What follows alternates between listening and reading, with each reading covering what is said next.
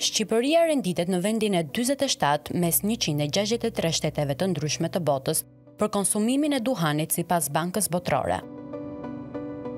Ndër vite, sipërfaqet në hektar të kultivimit të duhanit në vend janë rritur.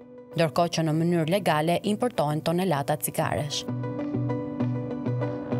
Gjatë vitit të kaluar 2023, në vendin tonë u mbollën 867.7 hektar sipërfaqe me duhan, ndërkohë që sasia e prodhimit të tij ishte mbi 1300 ton.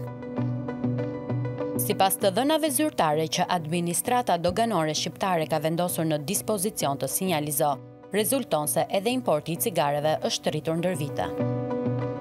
Në vitin dy mijë e njëzet e një, në vend janë importuar në mënyrë legale dy mijë e nëntëqind e tridhjetë e katër ton cigare.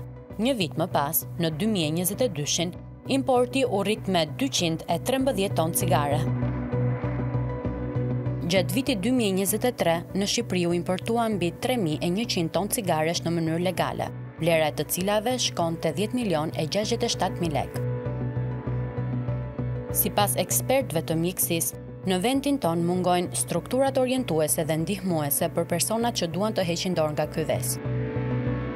Në farmacitë e vendit mungojnë nicotine patches, gjitës nikotine, ndërkohë pothuajse asnjë duhanpirës nuk kërkon ndihmën e toksikologut. Duhani është një sfidë për shëndetin publik në Shqipëri.